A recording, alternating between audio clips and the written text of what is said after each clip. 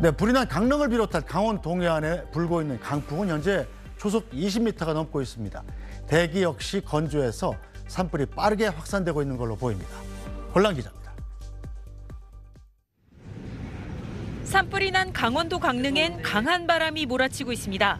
순간적으로 초속 28m의 매우 강한 바람이 불고 있는데 강릉 이외에도 설악산에 순간적으로 초속 37m, 동해 30m, 속초 25m 등 강원 동해안을 중심으로 매우 강한 바람이 집중되고 있습니다.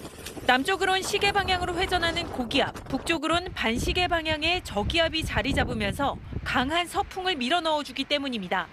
봄철에 영동 지방에 불을 몰고 온다는 화풍, 양간지풍입니다. 강원도뿐만 아니라 인천 등에도 순간적으로 초속 20m 넘는 바람이 불면서 전국적으로 돌풍이 몰아치고 있습니다.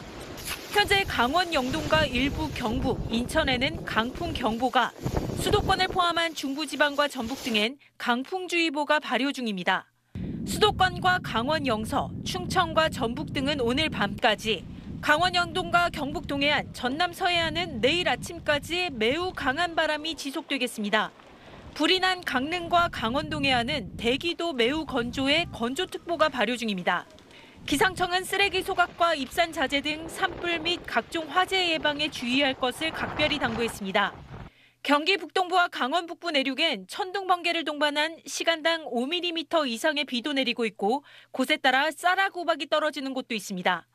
다만 불이 난 강원 동해안 지역엔 많지 않은 양의 비가 예상돼 산불 등 건조함을 해소하는 데는 큰 도움이 되진 않을 걸로 보입니다. SBS 권란입니다.